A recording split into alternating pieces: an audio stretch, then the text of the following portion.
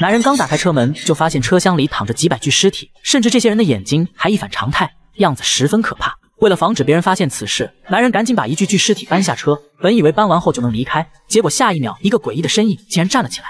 就在刚刚，一对小情侣在路上拦车，单纯的女孩还试图脱下衣服拦车，可路上的司机根本不吃这一套。关键时刻，男孩拿出十块钱向汽车招手，果然一辆大货车就停了下来。可等两人上车后，就发现火车后面传来了可怕的敲击声。他们赶紧询问司机是什么动静，但司机好像听不到一样，继续开车。害怕的两人请求司机想要下车，谁知司机根本不听，反而还加足油门继续往前开。很快，货车就越开越快，驶离大路，直接开到了荒野山路。等到司机停下后，他立马拿出喷子，命令他们千万不能下车。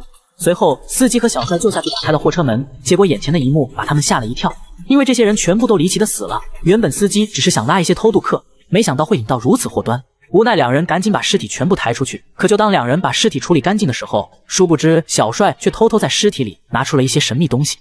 男人打开车门，发现车厢里的人全部倒地不起，表情里还充满了诡异。随后，他赶紧和小帅一起把尸体抬到车外面。可司机不知道，小帅竟在尸体里找出了神秘东西。原来，小帅为了多挣点钱，让所有人都吞下了这些东西，所以才导致他们的死亡。为了不引火上身，司机准备把车内的一对小情侣解决掉。可他没想到，小情侣找到了喷子，然后威胁司机交出汽车钥匙。殊不知，身后的尸体竟诡异的站起身。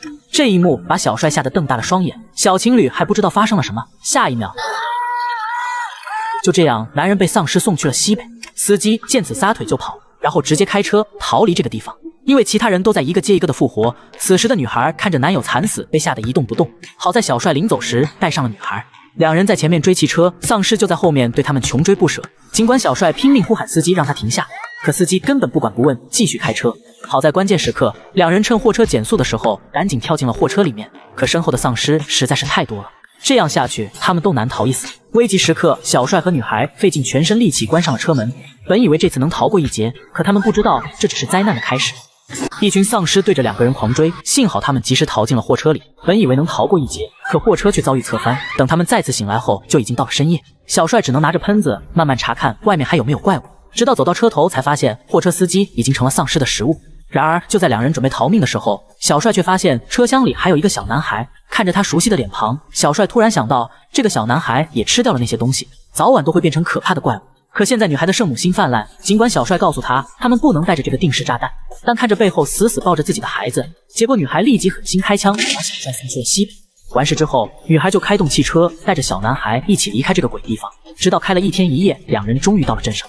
本以为这次终于得救，可女孩看向男孩的时候，却发现他已经变成了一个怪物。最后，她直接拿出喷子对准男孩，随着火车开过来的引擎声，正好遮挡枪击声。可谁也想不到，下车的竟然是小男孩。他看到对面的人群后，二话不说就冲了过去。原来，刚才女孩始终没能忍心对一个孩子下手，结果被丧尸送去了西北。而被女孩的同情心害惨的，同样还有小镇上的所有人。这部电影告诉我们，末日之下先解决圣母，可能一个人暂时的同情心会害了更多的无辜人。速速电影。带你走进不一样的电影世界。